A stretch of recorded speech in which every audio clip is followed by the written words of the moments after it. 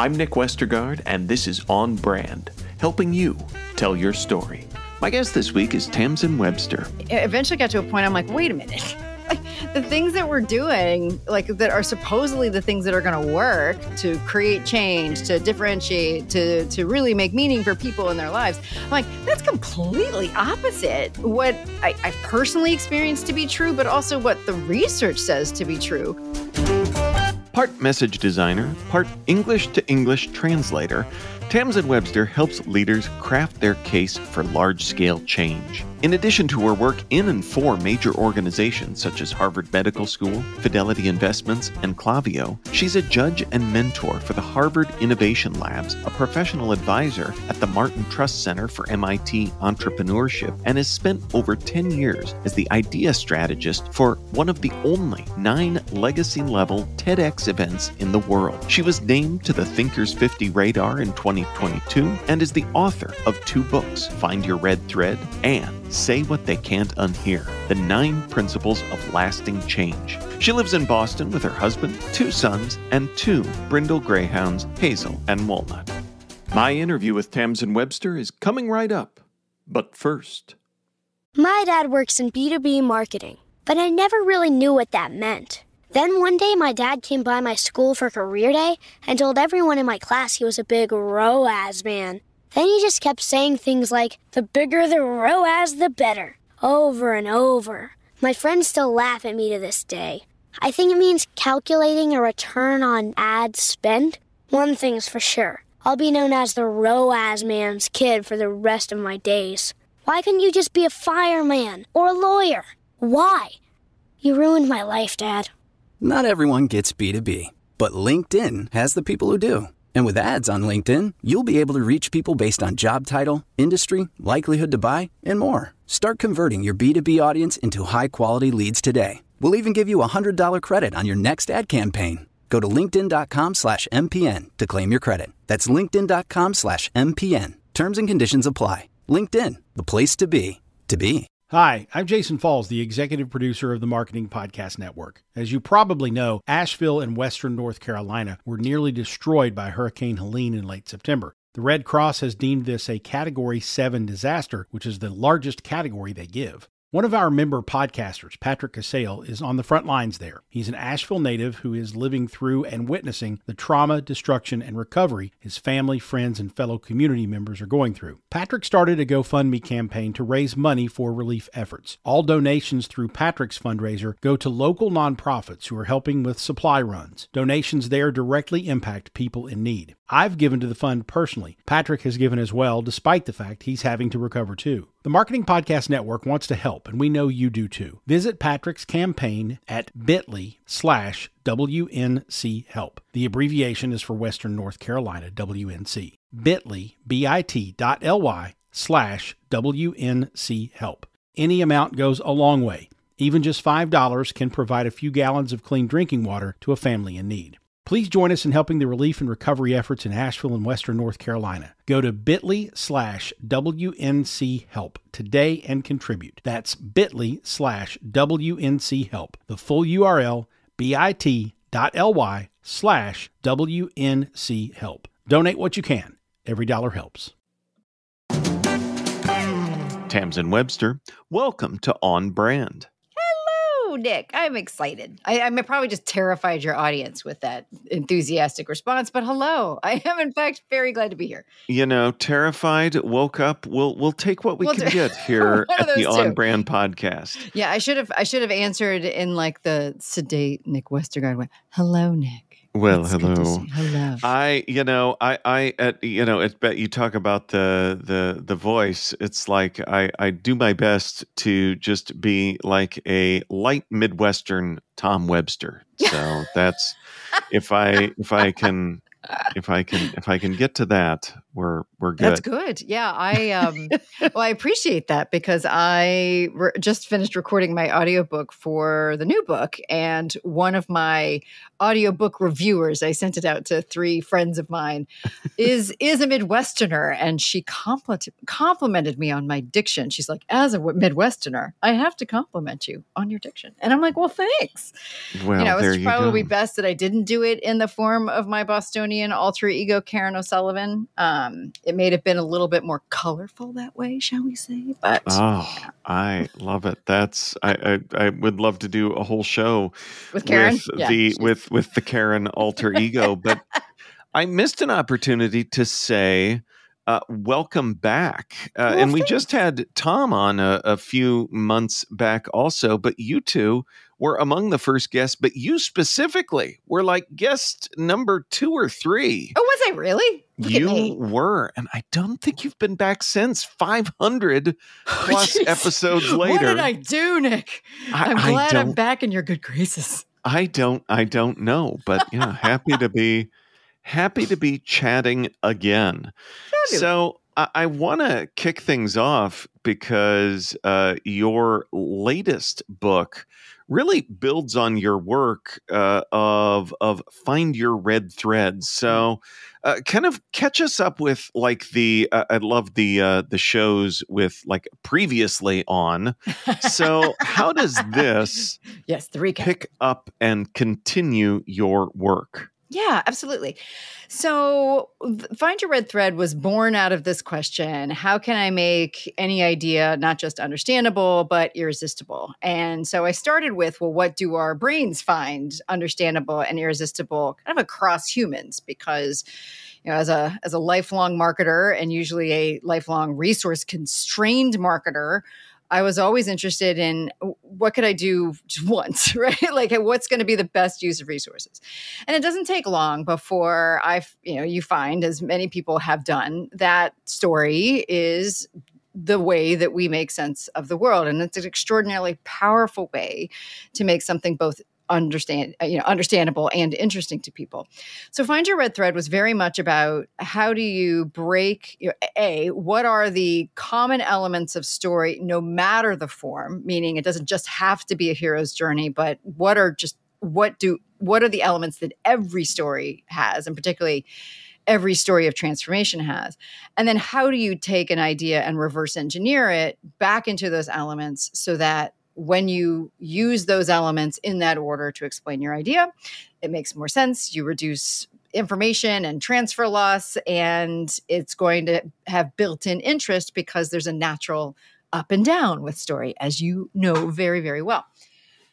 And then I noticed something. What I noticed was is that even the most beautifully architected stories, story structure, etc., didn't always work to achieve the change that they were designed to create or to instigate. And so I got very curious about that. I was like, well, what what is that? Like what what what are we what are we missing about story? If story is like the thing, what about the thing isn't working when it doesn't work? And for whatever reason, that old storytelling maxim that a story is an argument got stuck in my head. And I started to think, well, what if that is actually true? What if it is, in fact, an argument for I mean, it. I mean, it is. You know, any story really is an argument for a particular course of action. Fables you know, are a great example because they tell you what the course of action is in the in the moral. Um, but really, any idea is. And then I was like, well, what are the arguments we agree with? What what determines that? Well, we you know, if it works, we agree with the argument. So what's the argument based on? And I was like, oh my gosh, it's based on beliefs it's based on principles so the stories we agree with the arguments we agree with the changes that we agree to are based on a story we can tell ourselves that's based on beliefs we already have. And so in other words there's a layer underneath story. And if we're really looking to truly understand how people change how to use language and messaging to help create the conditions for that change then it's really under, then it's really important that we understand this whole universe of ideas that have to come together and so i decided to put that out there not so much as the how to on how to build that core case, which is the precursor to a red thread. Uh, let's let's call that the next book. Um, but I realized that that these principles that were out there about what truly drives change just weren't in or a part of conventional wisdom. So I wanted to write a book that took all of that and put it out into the universe. I, I love that. And it occurs to me as you talk about red thread and story. Uh, just to kind of uh, sidestep in parallel to all of this, your brand being so well built, your personal brand being so well built, and it is kind of pun intended tied up in the in the story of the red thread. But for yes. those that don't know, can you give us that that backstory? Because I think sure. that's such a such a neat fit. Yeah. So um, so the red thread is the name that I appended to this idea of a story structure that is, you know, that helps you build a story that people can tell themselves. Uh, and it starts with the idea that it's essentially reconstructing the story that you told yourself about a particular idea. Um, and so by reconstructing that story, we can help people follow the same path, that same rationale, that same kind of intuitive, emotional path to that new idea. And as you may remember, the the the the process for that, the story structure I had come up with predated the the name the red thread. Um, but so but separately else in my kind of storehouse of potentially useful information that is my brain um, was this um, Swedish Northern European idiom of the red thread. And now, just quick before anybody goes, well, it's not just a Northern European. I, I, know, but the way that I first interacted with it was in the Northern European sense of the red thread, where they talk about it as the thing that makes things make sense, right? The through line, the logical progression of ideas through something. Um, and I was curious separately about the idiom and where that version of the idiom people thought that it where its roots lay um, because there's there are red threads in other cultures particularly eastern cultures uh, and religions and philosophies and they have a different source and they mean something slightly different. But the this one uh, turns out to be based in Greek mythology, and specifically the legend of Theseus and the Minotaur and Ariadne's red thread. Uh, some debate as to the color of the thread, but over time it has been come to known as, as the red thread. So the red thread is what Ariadne gave to Theseus to help him trace the path through this lab, uh, labyrinth, the maze in which the Minotaur lived, so that he could, once he defeated the Minotaur, retrace his steps and find his way back out. And once I found that story, my brain was like, oh, this huh, this is like this this the story the name describes not only the output of this process that i had developed. In other words it will produce a logical progression of ideas. It will produce you know the through line of something the things that make it make sense. But the the process of it was very much the same way where i you know when i work one on one with people or if you read the book and you follow the process it is about reconstructing in your own mind the conditions that gave rise to the idea in the first place so that you can do that in somebody else's mind as well.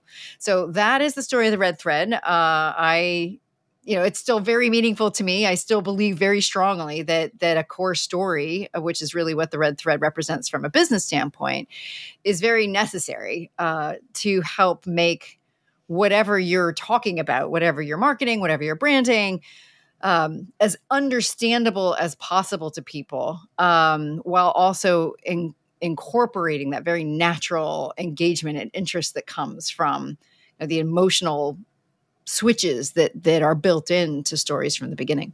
On brand, we'll be right back after this.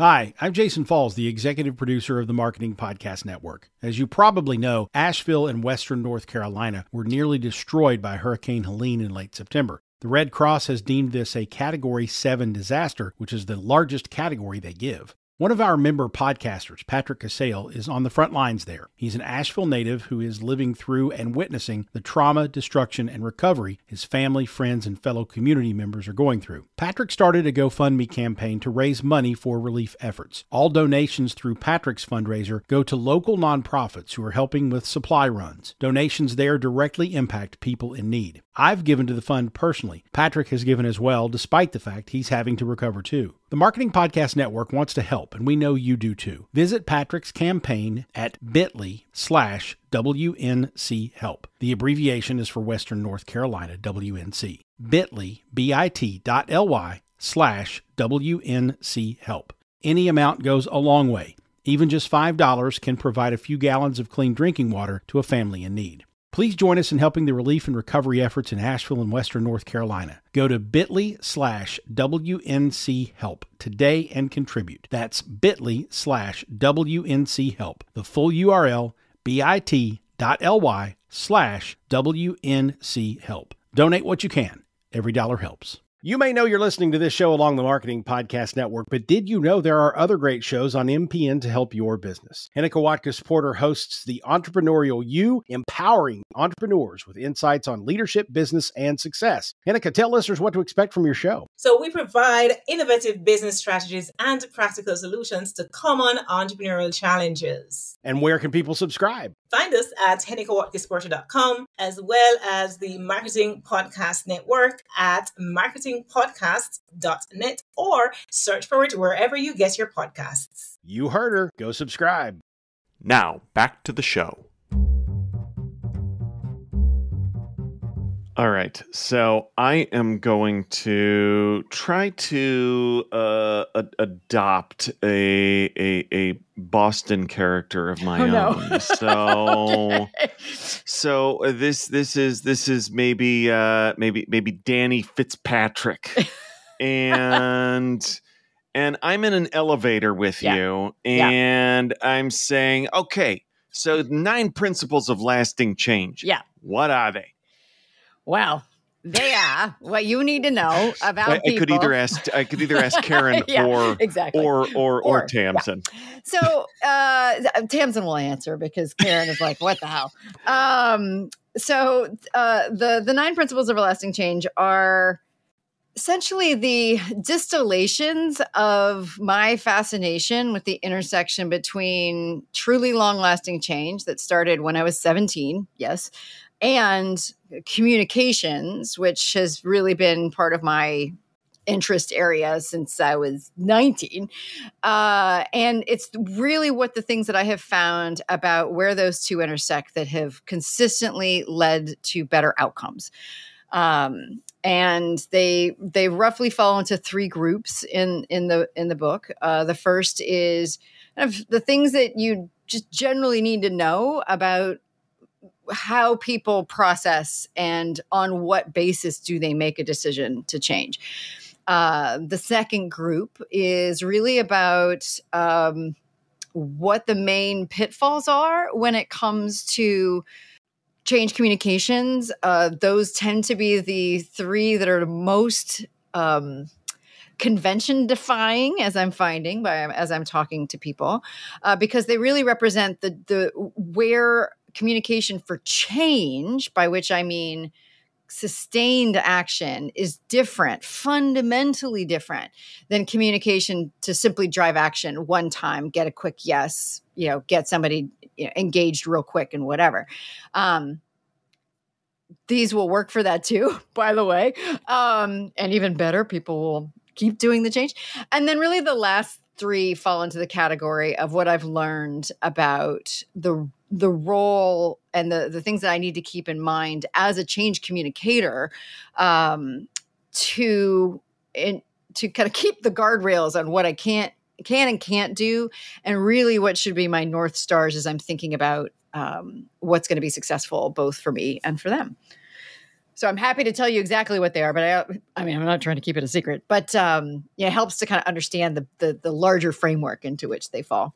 Yeah. So, in talking about the principles, uh, a- and I was fascinated to hear you say your uh, almost like lifelong interest in lasting change. Mm. I wonder if you'd say more about that. Sure. Yeah. I mean, I I will I will date my interest in lasting change back to my you know quite personal experience. Uh, the first time i experienced a debilitating panic attack was when i was 17 and you know landed me in the emergency room trying to figure out what was going on. And you know it, it turns out I was just super anxious kid.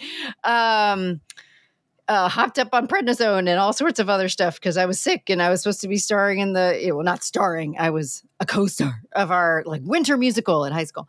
Um but if you're familiar with anxiety and panic or you know anyone who is then once you've experienced one of those things you you spend pretty much it's it's fair to say a, a, little bit of every waking moment trying to keep it from happening again mm-hmm. and so you know and i and i spent a good you know of the 15 following years really just living with the with the idea that this had to be something i had to live with um, though i secretly harbored a hope that that i didn't. And then um, kind of 17 years after my first first panic attack at 17 it just happens to work out that way um, I had my last one, uh, and it was very much the product of of someone just even opening the possibility that I could live without it, not just managing it, like literally without the underlying um, feelings of panic and all of those things that that, that led to it.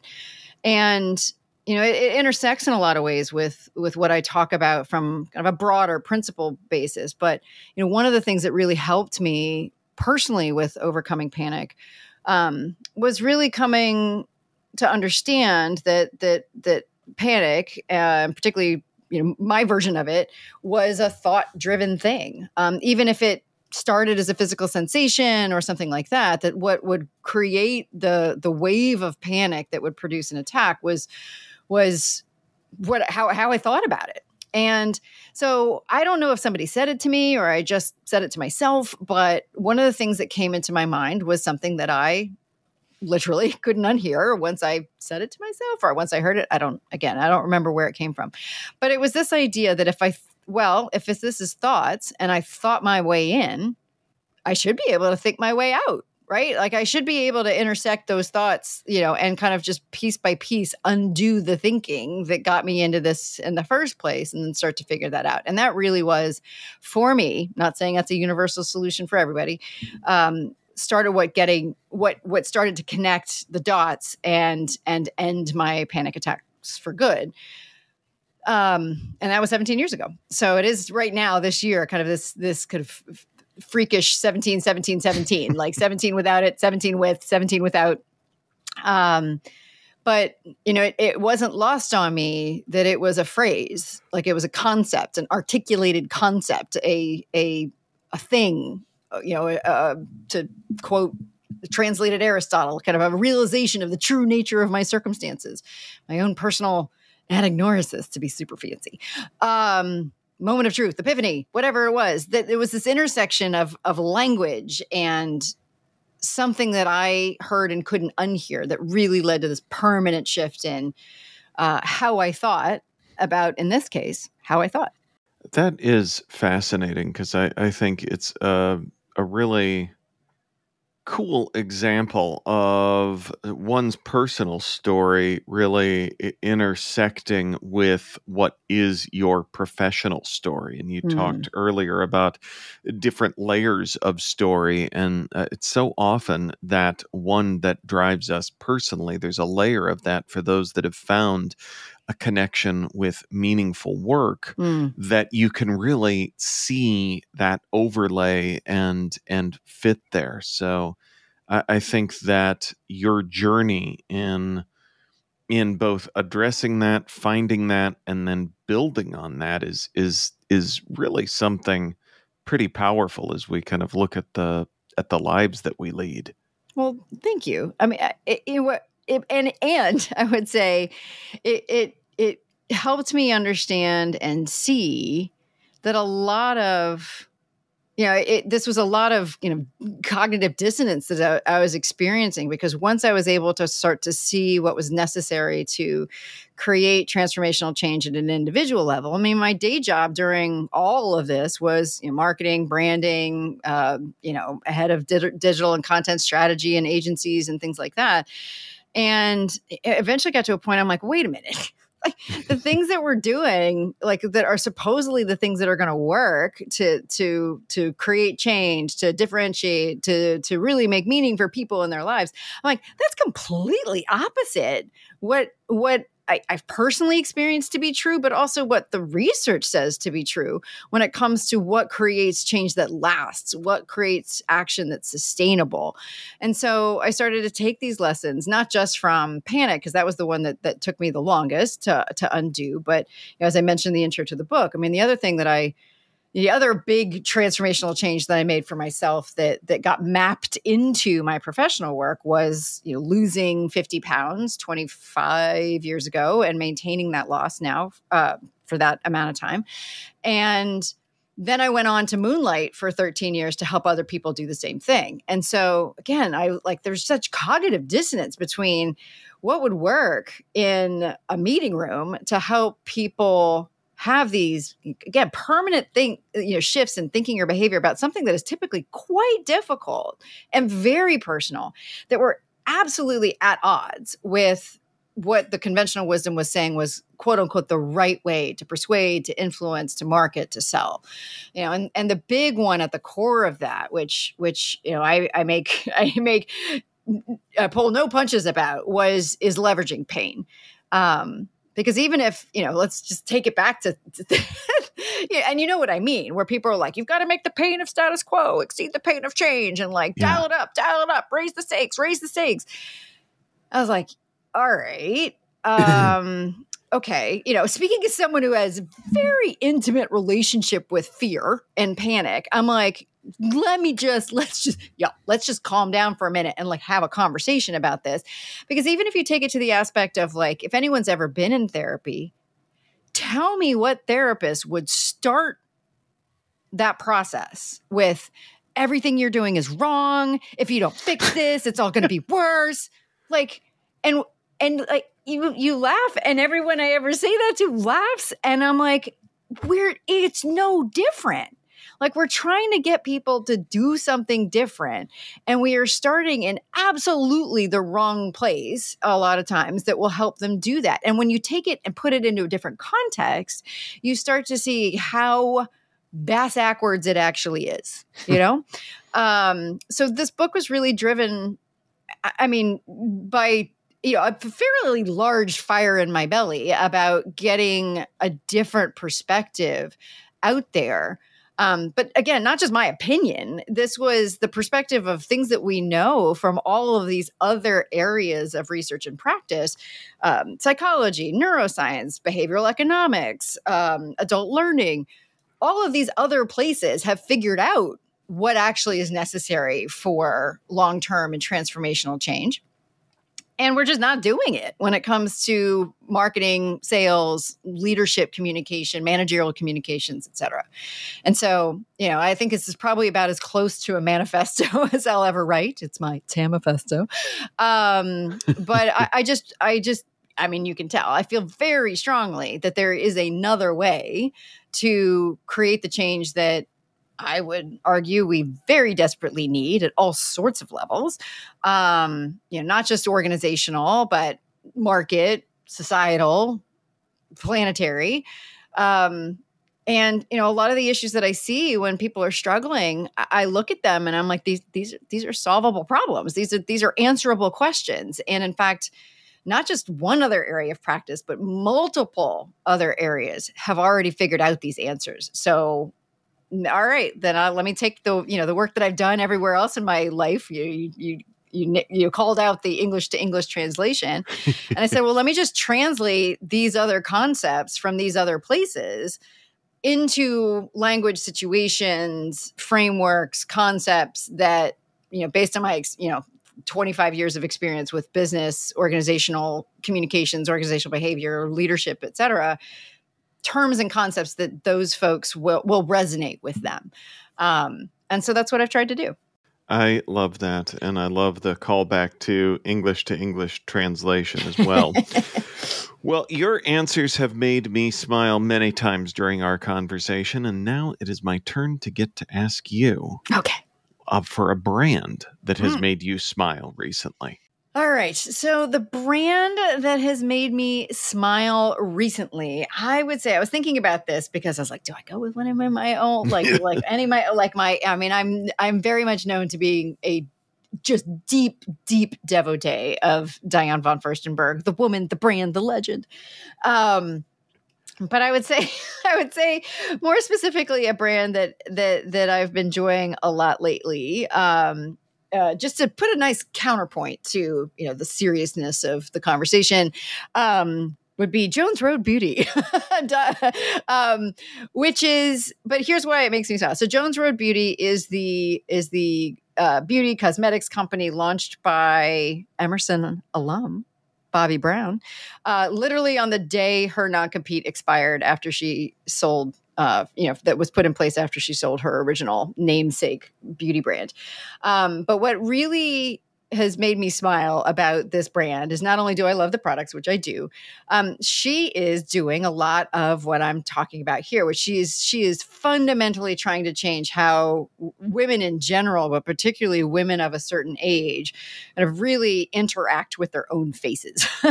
Because her whole philosophy, which has been consistent through her whole career, which is part of the reason why I've long been, you know, as much of a Bobbi Brown fan, the woman, um, as I have been of of Diane von Furstenberg, um, there has been this absolute through line, this red thread of playing up what you got, making the best of that, um, and and presuming strength and beauty from what's already present.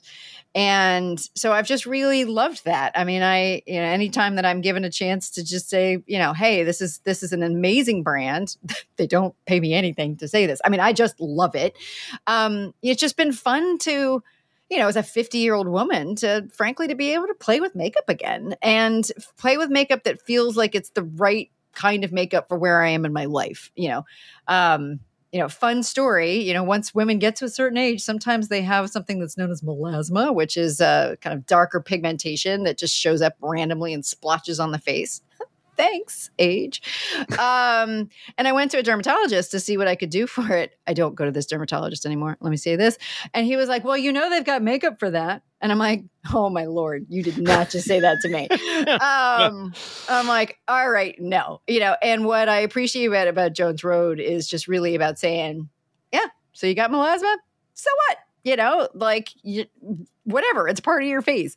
Um, and I just really appreciate that. So it it is a that brand makes me smile because it, like DVF, to me is a brand so consistently in alignment with its like you know in adult learning we talk about the difference between what are espoused values and what are values in use um, and i don't see much of a gap if any gap in in either brand. And that's that's one of those things that just again uh, it, it just it resonates very strongly with me uh, to get to that point because to bring it back to marketing and branding i have a long thought that that is the most powerful position that any of us can adopt is just articulate what you already have uh, in the best possible way, um, rather than try to stretch out to something that that doesn't feel comfortable just because somebody else says you should, or because that's where you know the pundits say that the market is.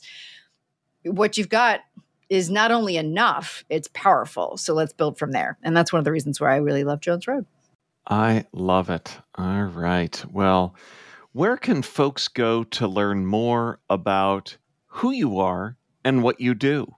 Oh, super. Yes. Well, uh, me specifically, I all things me are at tamsenwebster.com. Uh, and I should say, but where I am putting all of my effort and focus, et cetera, these days is at messagedesigninstitute.com, which will be launching, depending on when this comes out, mid September. I'm just going to say mid September, um, or has launched.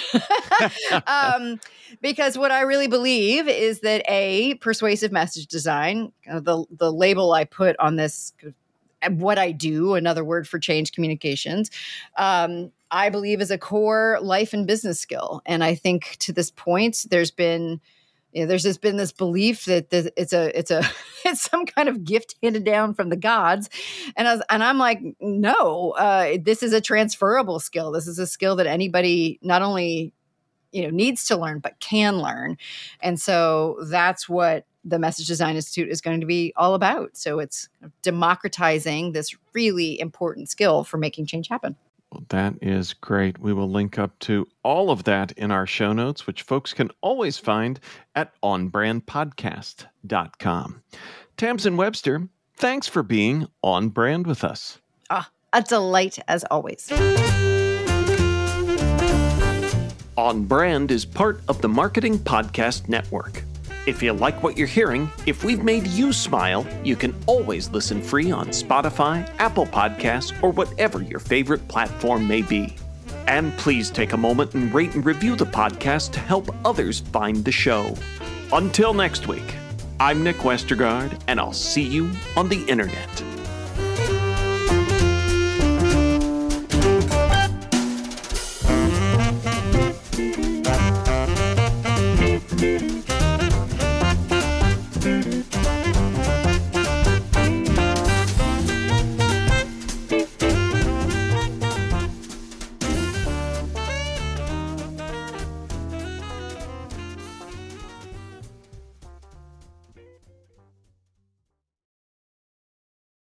This podcast is heard along the Marketing Podcast Network. For more great marketing podcasts, visit marketingpodcasts.net.